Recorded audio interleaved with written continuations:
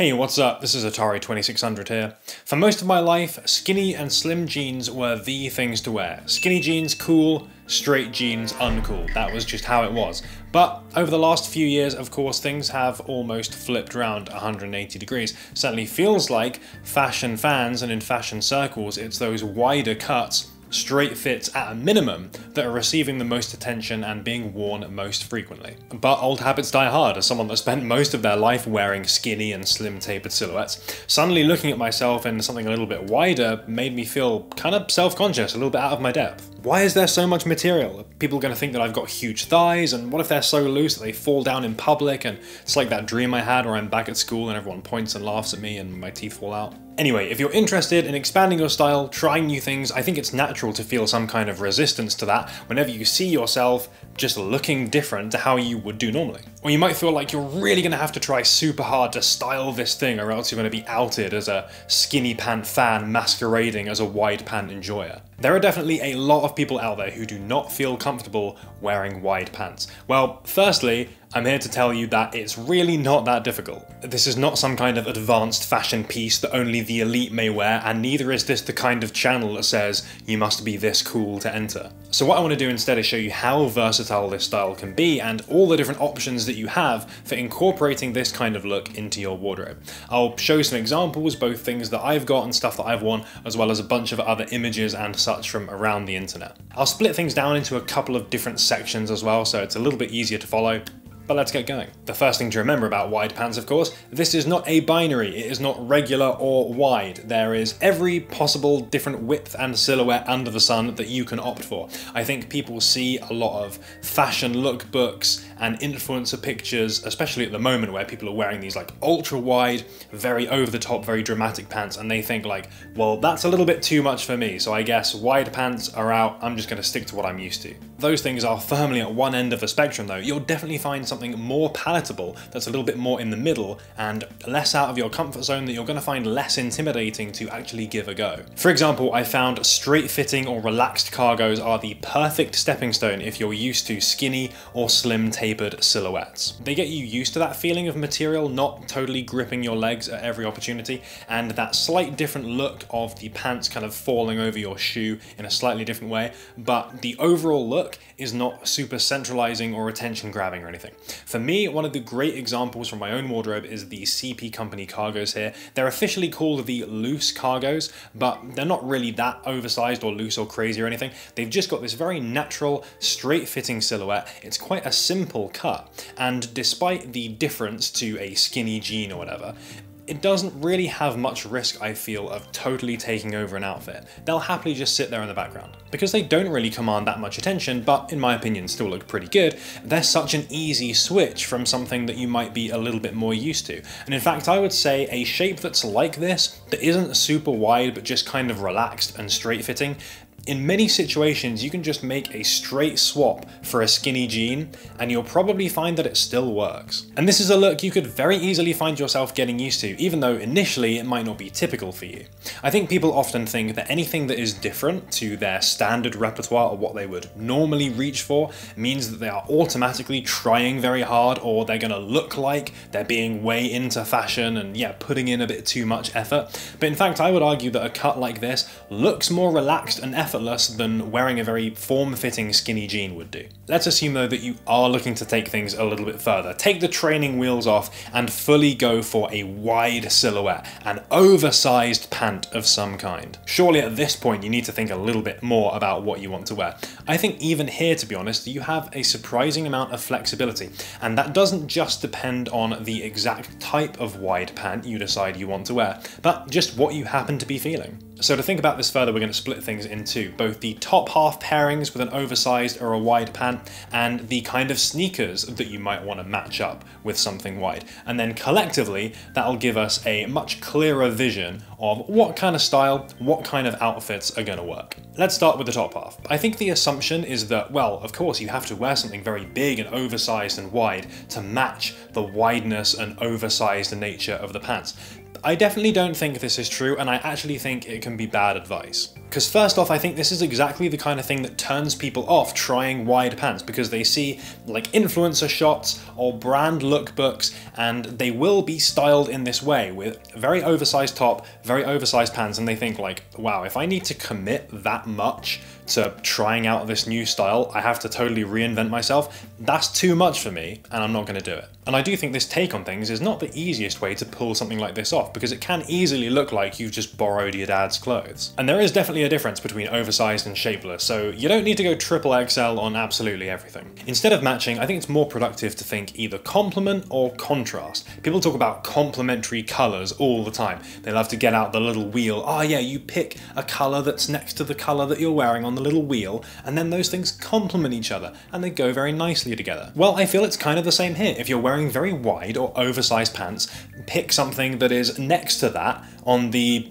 wideness oversized wheel. What I mean by that is something that's relaxed or a little bit oversized without being quite as wide or quite as unusual as the thing that you're wearing on the bottom half. This gives you the same kind of energy running through the whole outfit without running into that big brother's clothing type problem of everything just looking like it's not quite fitting you right. You only need that slightly different shape and there's 101 different ways you could do that, either through individual pieces that have a little bit of a relaxed or an oversized look, or using multiple layers built up on the top half to create that kind of visual interest and a little bit more bulk. That again, matches the pants, but in a slightly different way to just something that's really big. Accessories like bags and vests can do a really good job here, and they don't necessarily have to be mega oversized or really weird looking things.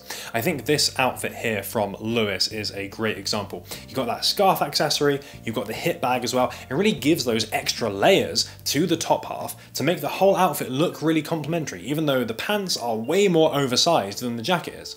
Just look at those big crunchy stacks that you got going on down there. And in this outfit from earlier this week, I'm wearing the Nemen Zephyr jacket with the outlier bomb flows here. The pants are pretty wide, especially at the hem, and while the Zephyr isn't as oversized, it has this kind of boxy cut, it's a little bit of extra width there as well, and combining that with a CP Company vest over the top, you do have that little bit of bulk and that little bit of extra room on the top half without being quite as much as the bottom half. Again, it's not the same cut or style, but it has a little bit of commonality there. Here's another good example. This is from Galax, who is no stranger to the wider pant. And what we've got here, you can see even though the jacket is kind of oversized, you can see that particularly at the arms, it also has a lot of angular straight lines and it's cropped as well. That material has a lot of structure, it's got that central zip as well, the pocket detail, the collar. You've got a bit of similarity in the oversized stuff, plus some contrast, which overall makes for this kind of complementary look. That awesome lime colour also does a great job of balancing things because you've got a lot of visual interest up here, nice bright colour, and a lot of visual interest down there, nice wide pan. So that's complementing or using different pieces of clothing which are similar in some ways and a little bit different in others. But what about contrast? Well, you could still cite those previous images as examples there. You've got contrasting elements, in this case the colour or the very angular lines versus the unstructured flowing ones. With the Nemen jacket, exactly the same thing. You've got a very neutral black colour for the pants, which is allowing the width of them to come through and shine a little bit. But then on the top half, you've got the colour, which is providing a very strong contrast and balancing that visual interest. But you can take this a stage further into looking at the silhouette and the width itself. And by that I mean contrasting very wide with very slim. This is probably something that's going to work better if you're a little bit more comfortable with the idea of wearing wide pants because essentially uh, wearing something in this way draws more attention to them rather than sort of balancing them out and taking away from them. I think a tucked in or a very form-fitting top can look great with really wide pants. It's almost this early 2000s raver kind of aesthetic, which is increasingly becoming more relevant in the fashion world. It's very dramatic, it's very fashion forward. I think someone doing something like this is instantly going to give that perception that like, yeah, I know about style, I know what I'm doing. But it's also kind of fun as well. I feel like an outfit like this doesn't really take itself too seriously. You really are going all in that like, yeah, I'm wearing something that's a bit unusual and crazy, and you know what? I'm cool with it, and I think it's good. As an alternative and more technical take on this, take a look at some of the Hamcus lookbooks because they often balance their bodysuits, which are very form-fitting, with some of their much wider pants. And you could say that they are doing this by balancing a lot of accessories and things like that to sort of remove that very form-fitting nature. But also there is that clear contrast there with, yeah, skin tight and very, very wide. I think it works and it does a great job of showing those crazy pants off. I know it seems like when we're analyzing images like this and really going into detail about like, oh, this works because XYZ reason, it seems like you therefore must put in loads of effort or loads of thought in order to do this, but I think in reality things are far more intuitive. You absolutely don't have to go through some crazy thought process just to put clothes on. What we're doing here is really thinking, well, all of these people seem to look good in various ways, what are potential reasons for that? Hopefully it shows that there's not just one way to engage with things. A lot of different styles can work for a lot of different reasons, and you'll probably find that if you do give something like this a go, just trying something out we'll probably find even if it's not in this video at all, it still kind of works and looks pretty good. It's just a case of getting used to something that's a little bit different. I promised I'd touch on shoes and this is the best part because I feel you really don't have to think that hard about what kind of footwear you are pairing up with wide pants. In fact, I think it's easier to make these kinds of pairings than it is to do so with slim or tapered silhouettes. In those cases, it's easy to suffer from he boot too big, which in my opinion looks far worse than he boot too small. The wider the leg opening, of course, the chunkier the shoe you can get away with and not have it look out of place. So time to bust out those big fat walking boots or whatever you've got nestled away in that wardrobe of yours. Try something a bit different, it'll probably still look mega effortless. And I think because so many of the popular shoes at the moment are a little bit on that chunkier side, it's all the more reason to try out a wider pant because you're going to help make the most of them. I know you're scared, no one will know what you're wearing if you've got these huge wide pants on, but trust me, it's a way bigger flex to be semi covering up those shoes than it is to have big skinny jean arrows pointing towards your latest pickup. Wide pants are like, oh, you want to look at my new sneakers? Yeah, you can see a little bit of them. You can see like half of them, but that's all you're getting. That doesn't mean, of course, you have to wear mega chunky shoes and get yourself down to the Balenciaga store this instant. Dunks, Air Force Ones, they're still really popular at the moment, and guess what? They look fine with wide pants. They have that little bit of extra bulk to them without being super wide and crazy.